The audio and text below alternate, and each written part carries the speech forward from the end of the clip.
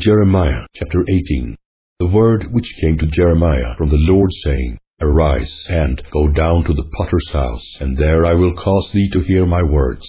Then I went down to the potter's house, and behold, he wrought a work on the wheels, and the vessel that he made of clay was marred in the hand of the potter. So he made it again another vessel, as seemed good to the potter to make it. Then the word of the Lord came to me, saying, O house of Israel, cannot I do with you as this potter, saith the Lord? Behold, as the clay is in the potter's hand, so are ye in mine hand, O house of Israel. At what instant I shall speak concerning a nation, and concerning a kingdom, to pluck up, and to pull down, and to destroy it. If that nation against whom I have pronounced turn from their evil, I will repent of the evil that I thought to do unto them. And at what instant I shall speak concerning a nation, and concerning a kingdom, to build and to plant it. If it do evil in my sight, that it obey not my voice, then I will repent of the good wherewith I said I would benefit them. Now therefore, go to, speak to the men of Judah and to the inhabitants of Jerusalem, saying, Thus saith the Lord, Behold, I frame evil against you, and devise a device against you.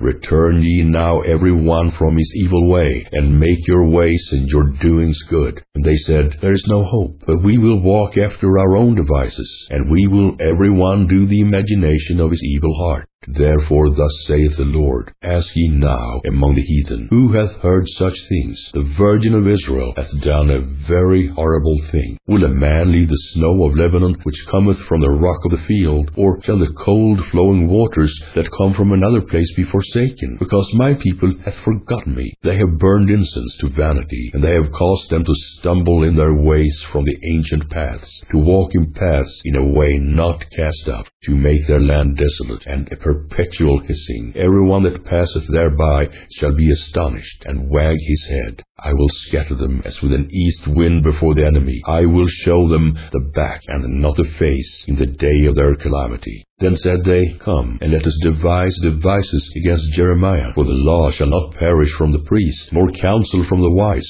nor the word from the prophet. Come, and let us smite him with the tongue, and let us not give heed to any of his words.